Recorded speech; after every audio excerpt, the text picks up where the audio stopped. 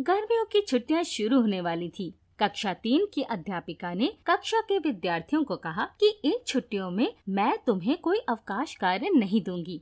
ये सुनकर सभी विद्यार्थी बहुत खुश हो गए और शोर मचाने लगे। अध्यापिका ने उन्हें शांत करते हुए कहा कि इन छुट्टियों में सभी बच्चे ऐसी चीज़ें इकट्ठी करेंगे जो उनके अनुसार बेहतरीन हैं।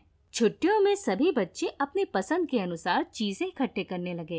एक विद्यार्थी ने खिलौने इकट्ठे किए तो दूसरे ने गानों की सीडी इकट्ठी की। स्कूल की छुट्टियाँ समाप्त होने वाली थी और सभी विद्यार्थी इस परियोजना कार्य को लेकर बहुत उत्साहित थे। स्कूल खुलने पर सभी विद्यार्थी अपने द्वारा एकत्रित सामान को सजाकर ले आए। अध्यापिका ने उन्हें बारी बारी से अपनी चीज़ें प्रस्तुत करने को कहा। सबसे पहले राघव ने कक्षा के समक्ष इकट्ठे किए हुए खिलौने प्रस्तुत किए। उसके बाद समीर ने अपने डाक मोहरों के संग्रह को प्रस्तुत किया। इस प्रकार सभी विद्यार्थियों ने अपनी अपनी चीज़ों को प्रस्तुत किया। उनमें ये वाद विवाद हो रहा था कि सबसे सुंदर संग्रह किसका है। अंत में मानसी की बारी थी। वो एक बड़ी सी बोरी को खींचते हुए अध्यापिका के पास लाई। उसने गले में एक पोलराइड कैमरा टांग रखा था। सभी हैरान थे कि मानसी क्या प्रस्तुत करने वाली है। तभी मानसी ने बोरी में से एक डिब्बा निकाला और अध्यापिका से उसे खोलने का निवेदन किया। अध्यापिका ने उत्सुकता से डिब्बे को खोला।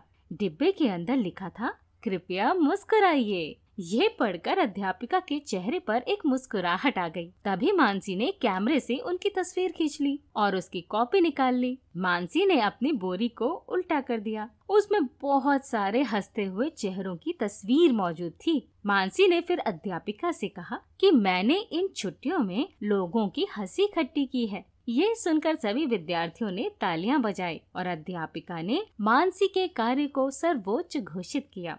किसी की मुस्कुराहट सबसे सुंदर उपहार है।